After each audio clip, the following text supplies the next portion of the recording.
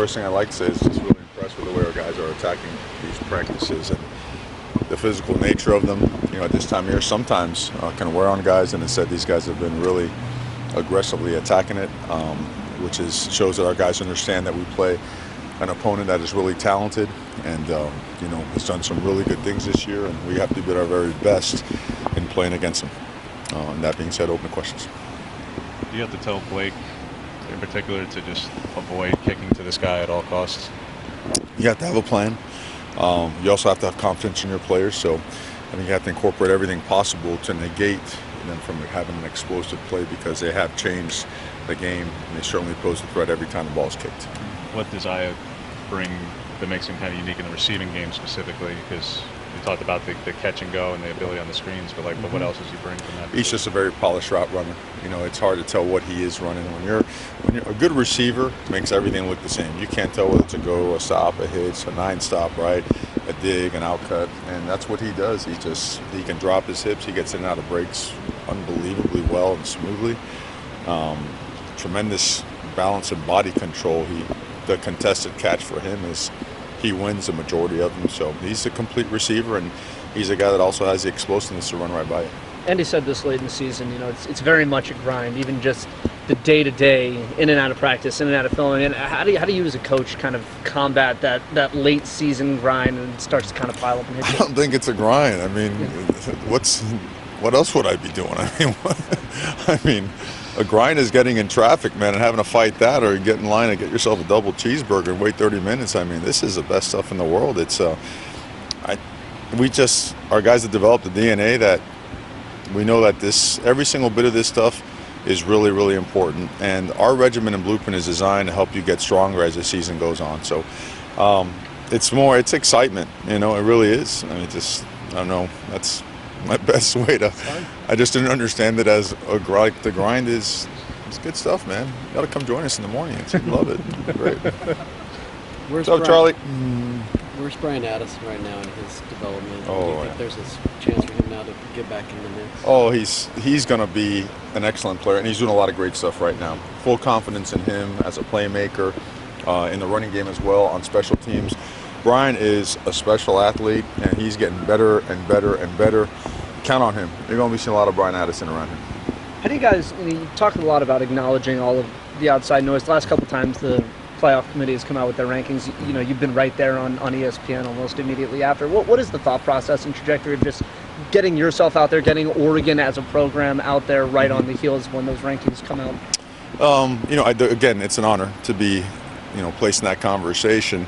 I think, you know, as much as sometimes people fear the noise that comes with that, I think the acknowledgement of the fact that a lot of teams are in that position, and us being one of them, because teams in front of us have faltered, whether it be to them listening to the noise or a tough game or maybe being caught off guard. So there's there's nothing but positivity to it, especially when you handle it the right way and you attack processes and practices like we did today.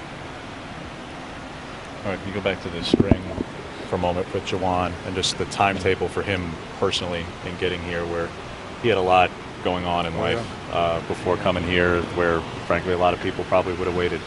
Um, Mm-hmm. give me to that process of your role in that and, and helping him deal with all that he was dealing with at that time. Well, I mean, when, talking about guys like this, I I defer any and all just I would say credit and merit to the guy, the player, and and Juwan. I just the guy really has approached and attacked every bit of adversity and opportunity uh, like a man on a mission, you know, and things were going really well, but he had just gone through a lot.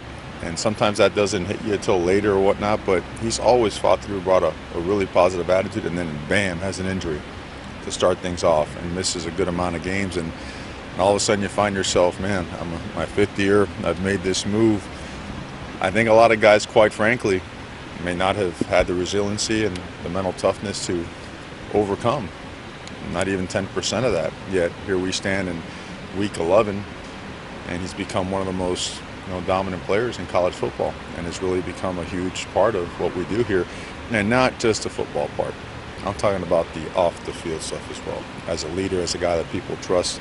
So extremely happy for him.